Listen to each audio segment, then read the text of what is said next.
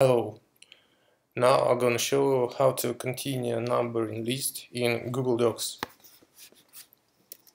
If you have first block with list, some block with text, and now you want to continue the list.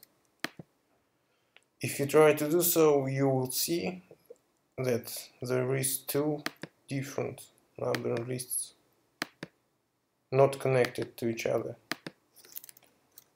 to connect to connect it you need to do this. Choosing the last element of first list and the first element of second list.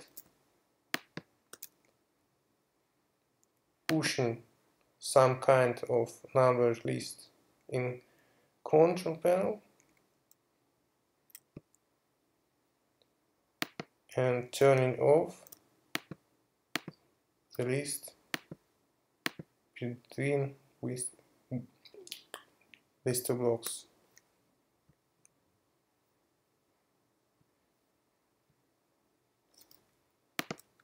Now it works fine.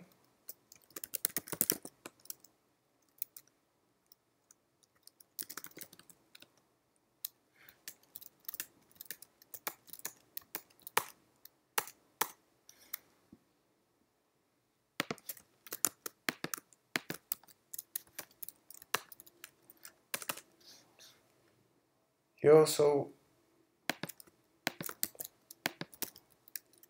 you also can uh, copy to clipboard this part between two lists uh, so uh, just a second.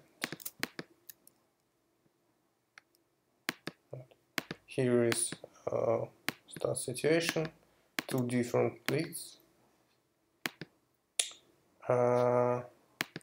now I will cut to clipboard this text between.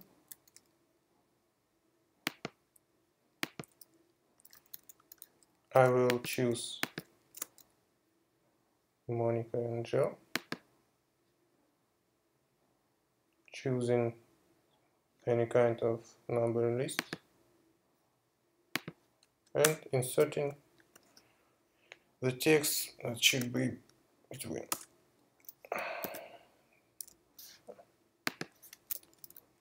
Hmm. It was fine too. I hope it helps.